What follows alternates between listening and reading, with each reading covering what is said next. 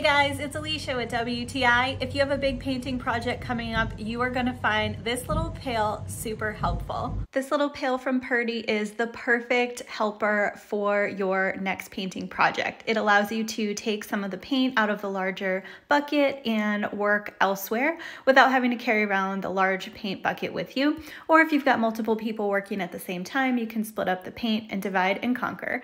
You can use this along with a mini roller or a paintbrush. There's a little holder for the mini roller and there's also a magnetic holder for your paintbrush, which is probably my favorite feature and that allows you to not lose your paintbrush and let it drown in paint and get all nasty and gross. So I absolutely love the paint bucket. This is a great option for professionals as well as DIYers like me. So definitely make your life easier when you are painting with this little pail. It is definitely a lifesaver and that's my point of view.